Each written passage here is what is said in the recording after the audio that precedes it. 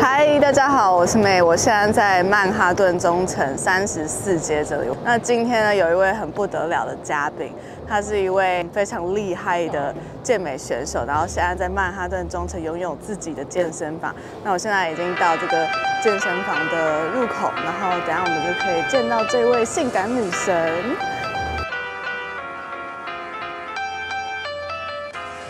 啊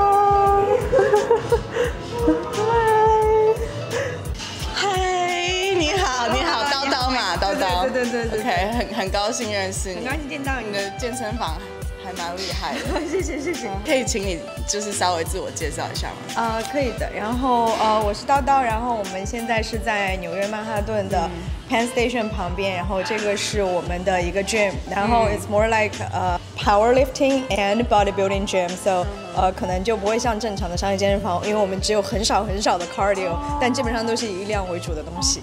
我感觉这边我我现在看下来好像是比较以 free weight 为主，对吧？对对对对对。哦 OK，嗯，所以你们拥有这间健身房已经多久了？呃，刚好一年，去年十一月开门哦那还。蛮新的。对对对对你在美国已经多久了啊？其实没有很久，我感觉三四年。然后你自己接触重训已经呃，接触重训其实蛮久了，从我大学的时候开始，可能就进健身房，但是当时就是没有，就是像所有女孩子一样，就是刚进健身房只想变瘦，对然后看到马甲线 就很简单。但是现在的话，就已经就是慢慢你的审美会改变，然后可能你的训练体系会改变，然后一直到现在的话，应该有快七八年的样子了。那你中间有没有经历过一些 struggle，就是面对自己体重上升或者是身形比较不一样？超级会，超级会。因为因为这跟就是亚洲的对于女生的审美观比较不一样。对，我觉得会。我觉得就是大家可能，呃，尤其是想要就你已经很 commitment，已经来进入这个健身房了之后，然后。呃，你肯定就会想要看到一些成果嘛，然后可能你就会很在意自己的呃 body fat，然后很在意自己的体重上面那个数字有没有变小，就是大家可能都会经历过这种就是很困扰的时候，但是我觉得我现在已经过了那个阶爱上段。powerlifting 呢？因为我看到你在 social media 上面就是很自傲说，哇，我的臀腿练得很大。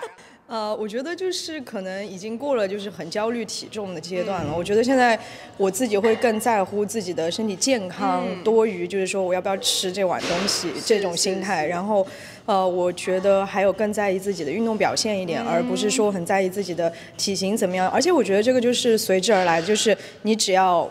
努力的去训练，就是你总会达到你想要的那个状态，不管是你的 mental 还也好，还是你的就是身体也好，肯定就是迟早会达到那里的。我觉得就是大家可以尽量稍微放弃一下那些焦虑，慢慢来吧。好，OK，Hello，、大家好。所以呢，就是现在是我们的这个 Iron Oasis 的 gym，然后这边是我们一个前台，然后就像我刚才讲的，就是我们这个 gym 会比较偏力量型一点，所以我们其实 cardio 非常少，我们只有四台 cardio，就在正常的 gym 里面，可能这个情况其实蛮少见的。但是我们想要就是呃更符合我们自己的想法一点嘛，就不会想要说去迎合太多就是商业健身的那些流程。所以说现在的话就是很少的 cardio，然后嗯这边的话就是我们的一套哑铃，然后这个是 X Master 的，就是大家可能有嗯大陆的朋友应该有听说过，其实他们家蛮有名的，就是呃这个是我们专门从国内运来的，嗯，然后。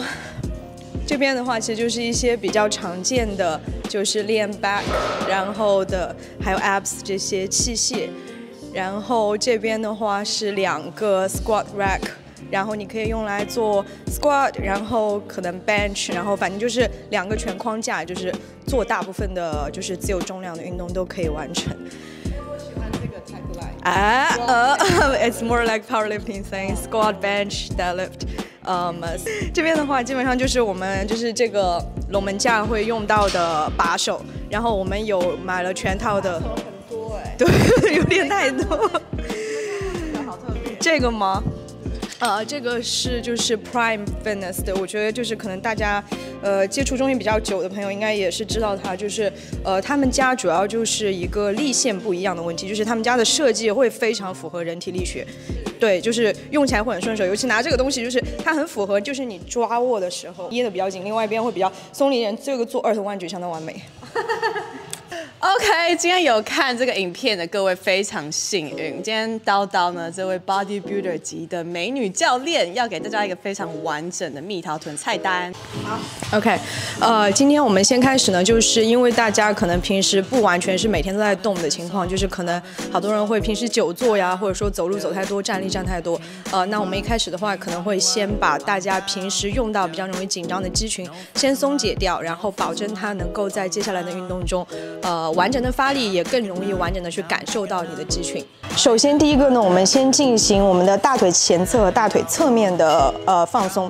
呃，因为平时的话，像我们站立比较多，然后可能走路比较多，用到比较多的地方，其实就是你的大腿前侧和大腿侧面这块股四头肌。所以股四头肌的练前的松解，尤其是你要做深蹲的话，是非常非常重要的。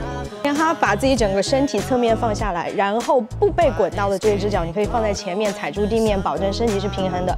被滚到的这只脚呢，你可以就是自然放松，压在上面，然后手肘撑住地面。这只手如果你觉得不平衡，可以撑地；如果你觉得平衡，没有任何关系。然后从你的膝盖附近，不要滚到骨头哦，把自己膝盖上面以及到髋骨这个地方这一段肌群松解掉，上下移动就好了。嗯，然后的话，我们会把大腿前侧也松解一下。呃，我们还是以这只腿为例的话。两只手也是一样，像做平板支撑一样，把身体放下来。另外一只脚不被滚到的可以做支撑，被滚到的这只脚悬空用力压在滚轴上面，上也是一样的区间内上下移动就好了。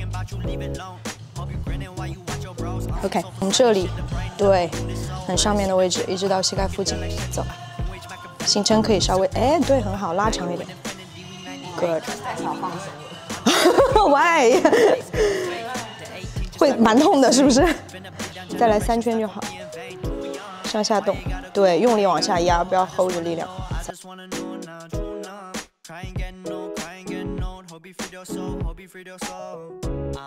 把自己的屁股坐到这个滚轴上面，坐到了之后，把你，比如说我们是单边单边的滚，把你的左手撑到地上了之后，把左脚就同向的左脚翘二郎腿翘起来，翘重打开的二郎腿，不要叠起来，然后把右手勾在这里，整个身体只有自己的左半边的臀放到这个滚轴上，右半边的臀是离开的，然后从自己的臀中的这个地方一直滚到。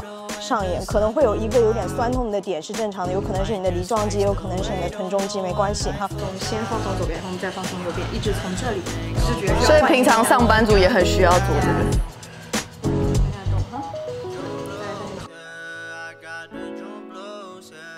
为了去膝盖 lock 住，对，动它的动也是压三下。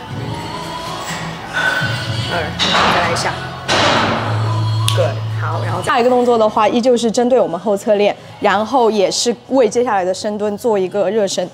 首先哈，整个人站的距离跟自己的髋关节同宽，完完全全蹲到你可以去的最低点，然后两只手抠住自己的脚前，做一个对抗的力量，然后把自己整个身体给拎起来，然后如果可以的话，尽量打直自己的膝盖，我是有点做不到了。然后整个人蹲下来，然后顶上去，蹲下来，做十个就好。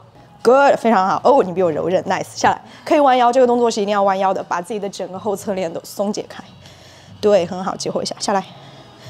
对，左拎起来。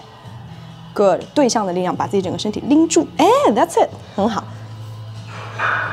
就这个意思，往上顶开。Good。对，身体可以稍微再往前 push 一点点，用力。我觉得很像那个黑道大姐，啊，就是就是要有 那种感觉，那种感觉。好，用力往前压，good。因为对对，很好。那我想请问一下，就是深蹲，那我们就列举三个你觉得初学者比较有可能犯的错，OK？怎么样避免这些错？OK，so，嗯，比较常见的错误呢，其实有。第一个就是膝盖问题，然后第二个是在髋关节，就是骨盆旋转眨眼的问题，然后的话还有一个就是上半身怎么去 hold 住这个杠铃在自己的身体里面的问题，这个是我觉得比较常见，然后大家比较容易有认知错误的问题。So，呃，第一个我们可以先讲上半身，上半身的话就是背杠铃啊，很多人可能会习惯性的把它背到自己脖子上面来。但如果背到脖子上面的话，首先第一点就是很可能容易压到神经，第二点的话，它会容易不稳，因为可能你在深蹲的过程当中，有些人的视线它是不固定的。当然，如果说你是固定的话，那才是对的做法。但是很多人刚开始做的时候，或者是说，哎，不知道该看哪里，头可能一会儿上一会儿下，在这个时候呢，滚这个东西就会在你的身后滚来滚去，重心就会非常不稳。所以说呢，在我们背杠铃的时候，我们要尝试把自己的身体夹紧，夹紧自己的肩胛骨，下回旋，把手肘。收到自己的身体两侧，把这个杠铃尝试抓进自己的身体里，压着自己的感觉，这样子杠铃才在自己的身体上面是稳定的哈。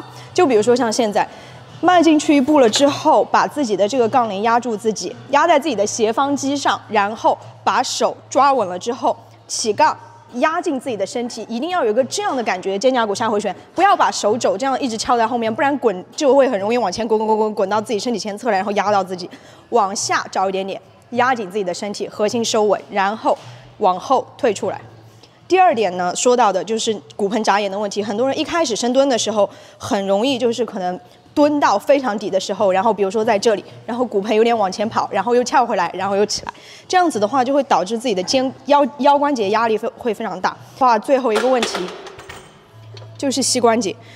膝关节的话，可能网上会有很多人就是说啊，在深蹲的时候膝关不可以超过脚尖，这是完全错误的。因为每一个人的身体结构其实完全不一样，对，就你的股骨长度和你的胫骨长度是完全不一样的。所以说，有一些人的深蹲确实是不应该超过脚尖，因为它的这个比例问题。但是，大部分人的深蹲。应该要膝盖去超过脚尖，这样子的话，你的整个身体才能够保证你的重心稳定。在你深蹲的时候，膝盖可以保持住，你就像我刚才说的，你的大腿面跟地面平行的位置，你觉得你的膝盖在哪儿就在哪儿，这个是身体自然的选择。你不要说，哎，为了刻意不超过脚尖，去撅屁股，把自己整个人撅到很后面，重心已经跑走，或者说你的腰已经非常受力，这个是不正确的哈。整个膝盖保持稳定，然后对准自己脚尖在的位置。所谓的脚尖不是大拇指，是自己的第二三根拇指的位置。对准出去，稳稳的往下蹲，站起来，他在哪儿就在哪儿，不要刻意去强求他在不在脚尖里面，这完全是一个谬论。OK，这基本上就是我觉得大概大家刚开始学深蹲的时候需要注意的问题。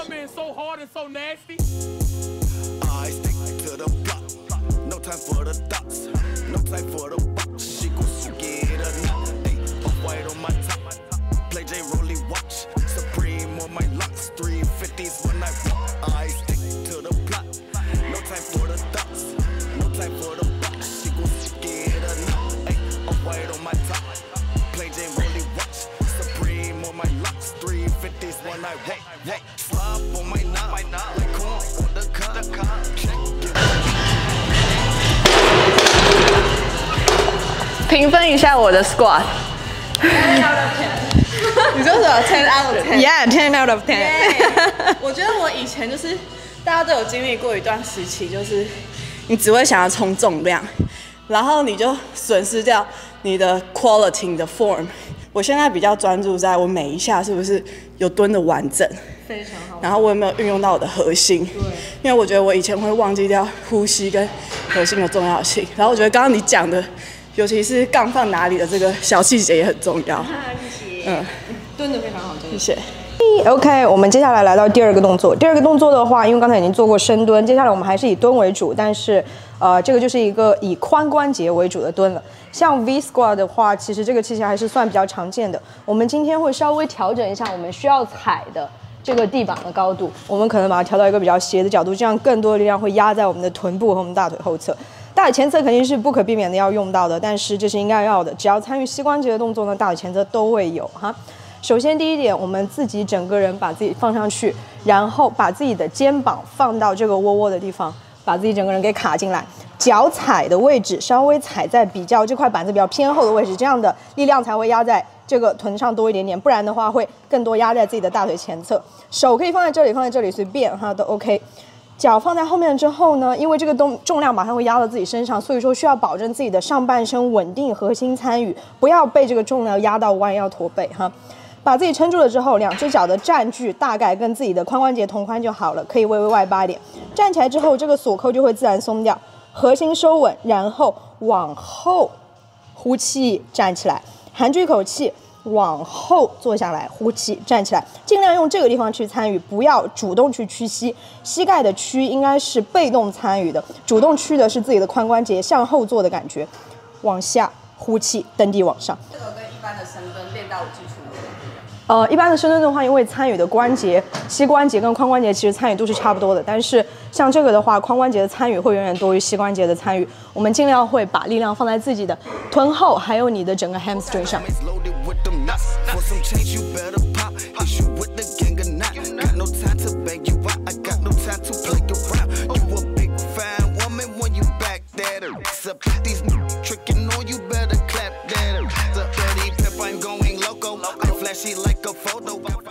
走接下来的话，我们就会继续做臀推。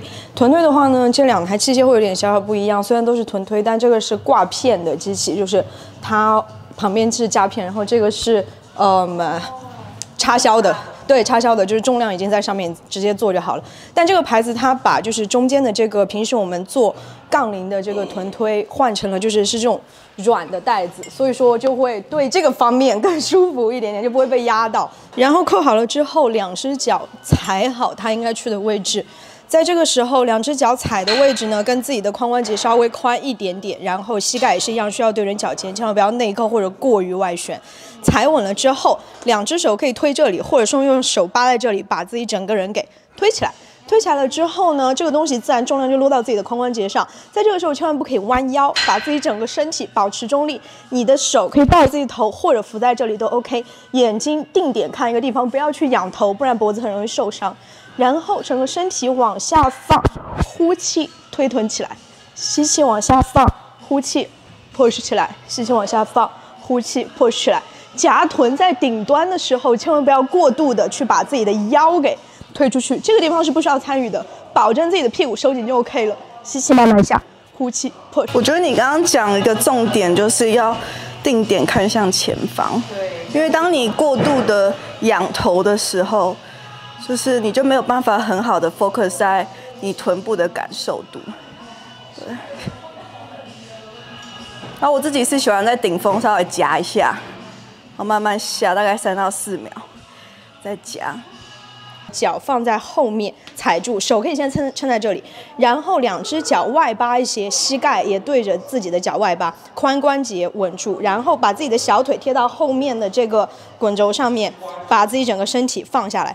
放下来了之后，我们需要保证我们的膝盖后侧是有空间的，不要完全打直，因为如果打直太多的话，会完完全全练到这个下面。其实我们今天的目标是练到上面为主嘛，所以说膝盖留一些空间，需要跪下去一点点。然后要保证这个地方不要卡到自己的骨头，是低于自己的这个髋关节这个骨头下面的位置，好吧？然后整个身体你可以稍微窝住一点，但是不要完完全全。我们可以下去，对不对？然后起来的时候后在这里，不要完完全全把自己的身体这样伸展开，保证把你的屁股收紧，跟刚才臀推一样就够了，不需要过于的 over arch。然后整个身体保证这个状态下来之后，手去抓下面的重量。打开，打开，打开，打开，把这个重量抓起来。要做的事情是，啪，收紧，下去，打开髋关节，上半身不要过度伸展或者过度弯曲，收紧，慢慢下，收紧，慢慢下，就 OK 了。好，用它这个固定的 cable 的重量做，虽然只是用很轻的重量，但是我臀肌的感受度更好，因为你在抱自由重量的时候，你就。你的身体就会需要 engage 更多的核心肌群，对。但是我觉得用这台机械的话，你就可以更专注在单一肌群上。嗯，像我们平时做的保加利亚蹲，就比如说后面有个东西，然后我们单腿蹲下去，然后或者说像一些单腿拉的动作，这个动作相当于是既结合了你的就协调性，然后又可以非常完美的锻炼到自己的臀的下角这个位置。这个就是我们的起始位置，然后我们每一次就回到这个起始位置就可以了，不用每一次站起来的时候都把髋关节推回去，保持微屈的状态。然后哈，我们这只脚在前，这只脚踩到滑块上了之后，我们要做的事情就是往下蹲。但是在这个动作里面，也是跟刚才一样，我们以髋关节为主，膝盖不要过度的往前伸，不要主动的去屈膝盖，膝盖全程尽量保持在一个位置，让自己的小腿去垂直于地面。然后我们要做的事情是往后侧蹲下去。站起来，往后侧蹲下去，呼气，站起来，尽量把力量放到自己的臀下角来，然后整个上半身全程保持微微屈的状态，往后坐开，呼气，蹬起来，好吧，我们来试试看。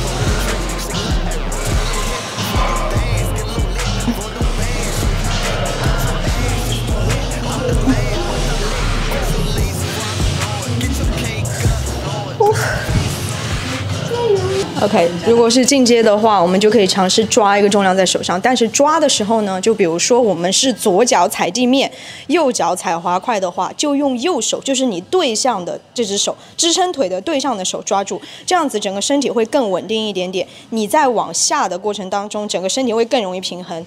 往下呼气，蹬地往上，往下呼气。OK。最后的话，我们就会用一个孤立性的动作来收尾，主要 focus 在我们的还是一样上臀。然后呢，这个东西可以把它绑在我们的脚踝上，左右都可以绑住。然后把这个锁扣扣进来。在这个时候呢，就让这个东西留在自己的脚踝上，不要让它跑到上面去了。我们可以往后退一步，先让这个重量来到自己的身体里面，然后支撑的这只腿可以稍微朝前站一点点，保证自己的身体稳定。两只手抓在这个东西上，保证自己的上半身是往前屈的，不要弯腰哈。把自己整个身体往后推开，手抓在这里，然后你要做的这一只脚啊，把自己的外八做出来，膝盖对你自己的脚尖，然后髋关节也随之外旋。骨盆就是向前，不要做任何这样的翻转。踩稳了之后往回放，推开，慢慢往回放，推开，慢慢往回放，推开，慢慢往回放，推开。我从来没有看过它这个环，它特别就是为了这个 cable kickback 所设计的，挺赞的，挺赞的。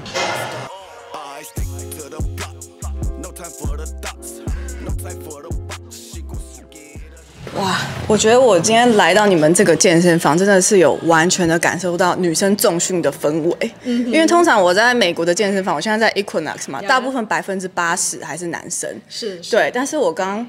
发现说哇，你们 健身房是百分之八十是女生哎！对对对，我们健身房女生其实会就一半一半嘛，尤其是女生可能会比正常的健身房稍微再多一点点。哦，是这个 vibe 很不错啊。OK，那非常谢谢叨叨给我们一个非常完整的蜜桃臀菜单。那我相信就是看影片的大家应该会蛮好奇说。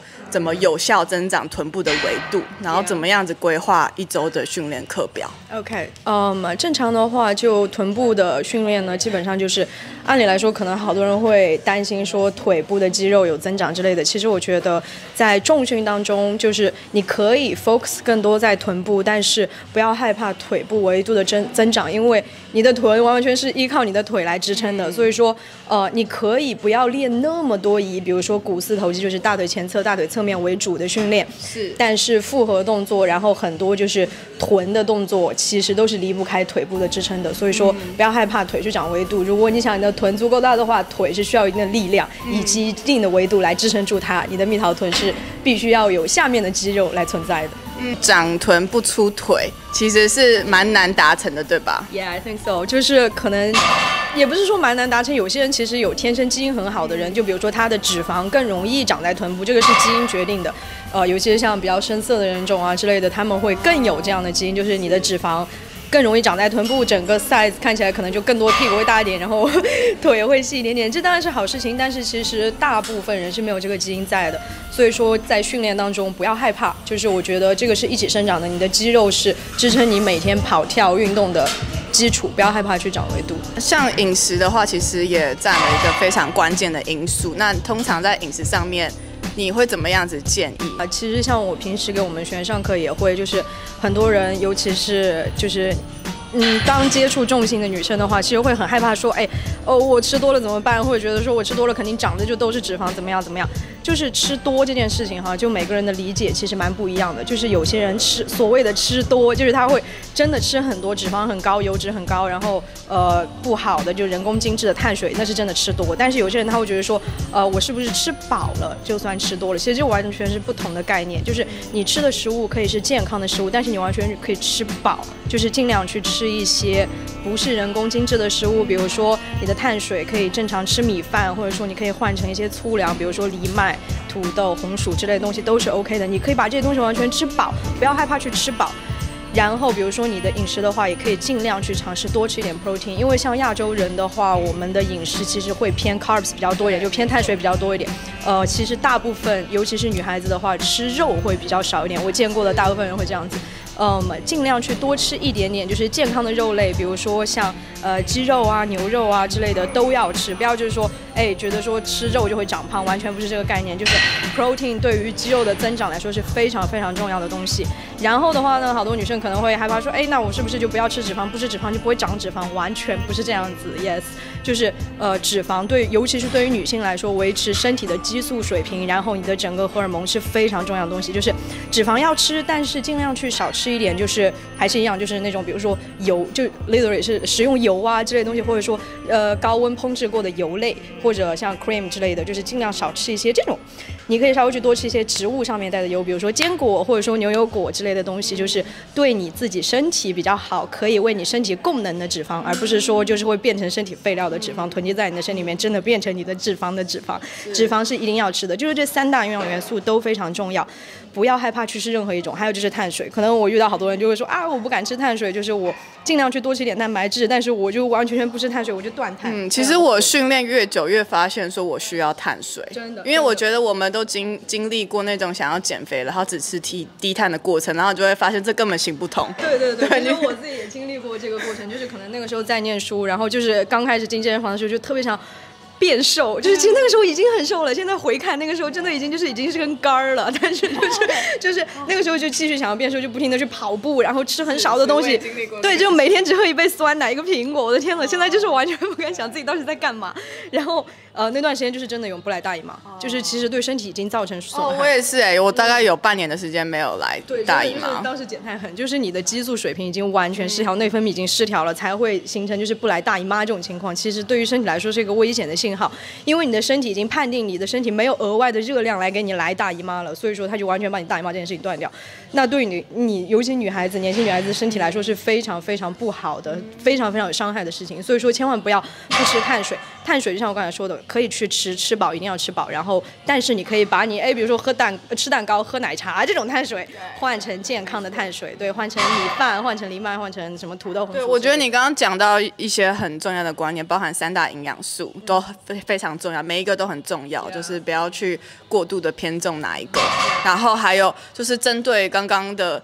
吃太多的这个迷思，我觉得只要你是吃原型食物，然后还有一个重点就是了解你的 TDEE，因为每个人其实每一天消耗的热量都不太一样，然后每个人的基础代谢率也不一样，对，所以如果你想要增肌的话，你最好是吃超过你的 TDEE 可能一百到两百大卡，所以不是说要你吃超过五百到一千大卡，那你肯定是长胖，对对对，所以我觉得就是回到说到底，呃，了解到自己的 TDEE，我觉得是非常。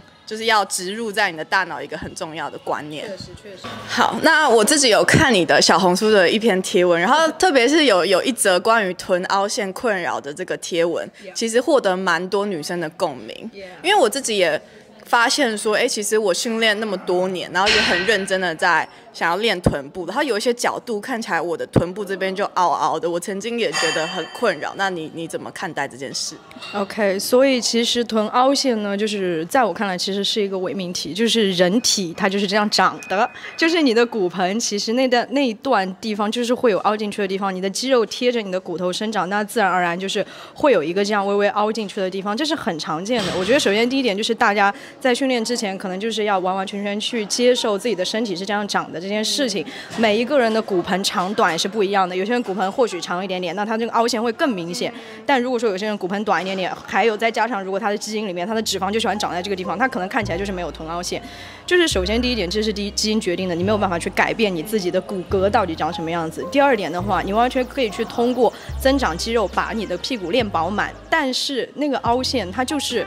骨头就长那样，你没有办法，就是说，哎，把这块填满，除非就是去，呃，做点 surgery。但是，但其实我在我看来，就是完全没有必要去 worry 这件事情，就是这真的太小太小的事情了。针对就是其他各种来说，就是不要太担心这件事情。你应该就是完完全全去接受自己的身体长什么样子，并且就是真的去。